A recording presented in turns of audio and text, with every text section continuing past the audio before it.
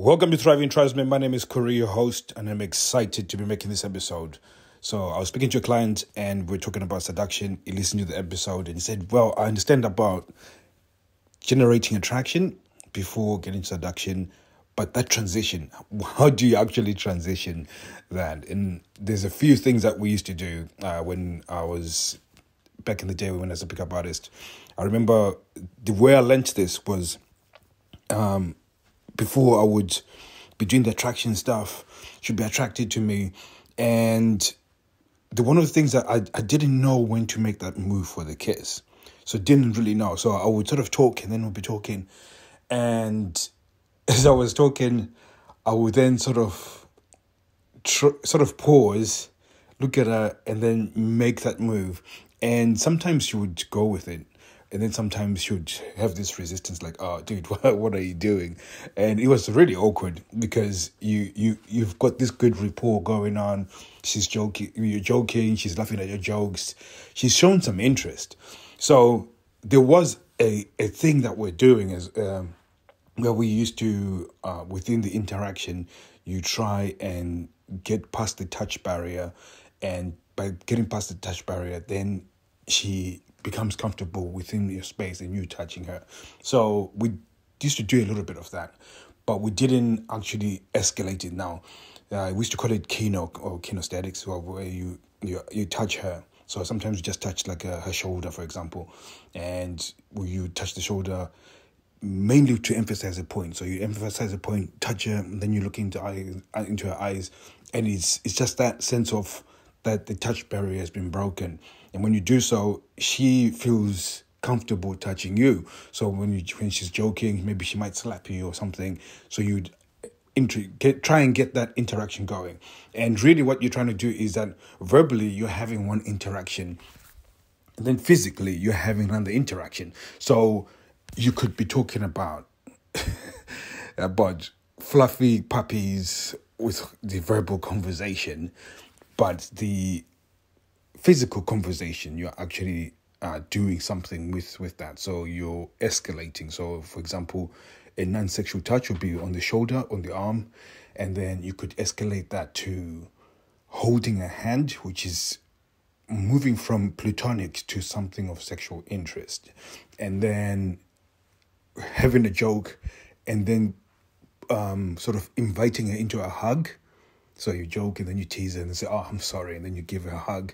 That's another escalation to that. And then you could uh, put your arm out to see if there's any compliance. So you put your hand out, and then if she puts her hand in, then there's a comp- so you could escalate it. So my point being is that the transition is easier when you are already having a conversation physically. So uh, while I'm doing the attraction stuff, which is me being playful, being excited, you know, doing all these other things, allowing those uh, emotions to come up, whether they're negative or, or positive, not caring. All within that interaction, I'm doing something physically to move the things along. So, for example, if I if I was speaking to my wife and whatever emotion she's feeling, I I pause, put both hands on my on her hips, and then pull her in I'm trying to look for compliance and see how much she's compliant. So, for example, if I pull her in and she comes in easily, then I know that we are on a level sexually. Sexually, we're getting closer to where we need to be. If I pull her in and she's not compliant and she shows some resistance, then it tells me that she's not quite there sexually. So, it's a way of escalating the, the situation, so increasing t- intensity physically but at the same time you're checking to see where she's at sexually. So if you think of it as uh, within a spectrum how far is she to that point where you can say yeah, she's definitely ready to have sex. So you can escalate that. So it could be non-sexual touches for example like i said you know the arms and so on. Uh, me grabbing her hips or grabbing her butt and pulling her in massive uh, statement of intent. So my statement of intent becomes heavier with each, you know, whatever I'm doing. So again, you can be conscious of this. I'm not as conscious anymore that oh, can I, I need to do this and that because the problem with that is if I used to have this with with clients before when we're teaching is that you would teach them this concept and then they'll be thinking about it. They'll be like, "Oh shit, I need to touch her." So in because he thinks he needs to touch her, uh, it would be congruent to where he where he's within that conversation. So it's not natural.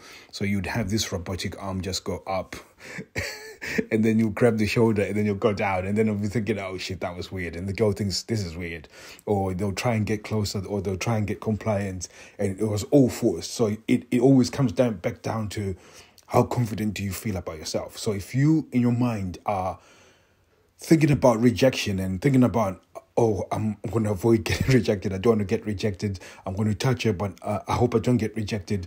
And you put so much emphasis on that touch it will come across very weird and it will kill seduction at that point.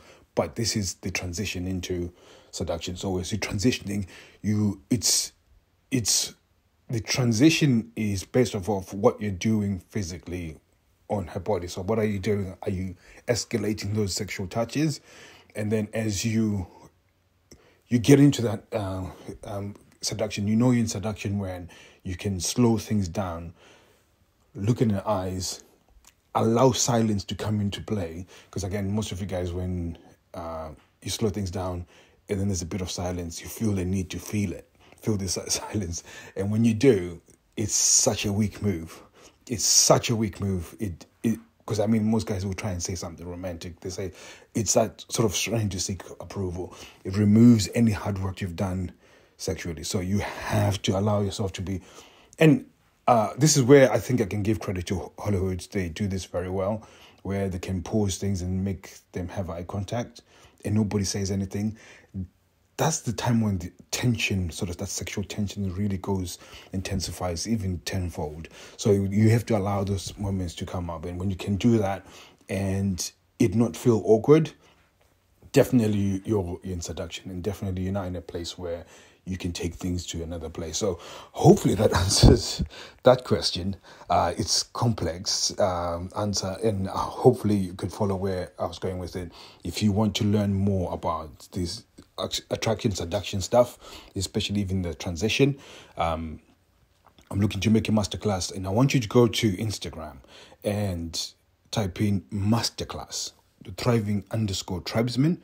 And when you do so, it gives me an idea of how many of you are interested in me making a masterclass. And again, this is going to be free masterclass. I will not hold anything back. I will teach you everything you need to know about attraction, everything you need to know about transitioning, everything you need to know about seduction. Like I said, you know, the when you see on the video, I'll be able to ex- at least show you exactly what you're meant to be, where you're supposed to be touching, and um at the moment compiling a few videos I've seen like online, whether it's films or YouTube or whatever, where I can show you examples of what those things look like. So um, at the moment, so I, I see a video, I, I take the, the, the, the link, so I'm going to be able to compile some examples so you can actually have a visual so you can see what I'm talking about and maybe do a commentary of some of the things that I've seen that, that are really good uh, in terms of video.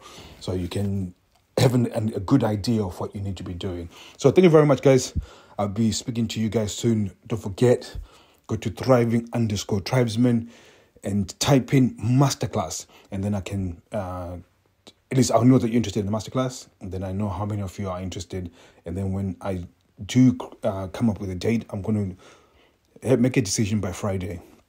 So by Friday, if I got enough guys, I'll send you guys also a message to say I'm going to be making the masterclass we can uh, settle on a date and I'll probably do uh, probably a couple of hours of just coaching and giving you guys everything that you need to know. You can ask questions, everything like that. So it's going to be absolutely exciting. I'm looking forward to making that masterclass. So thank you very much, guys. See you guys soon. Take care.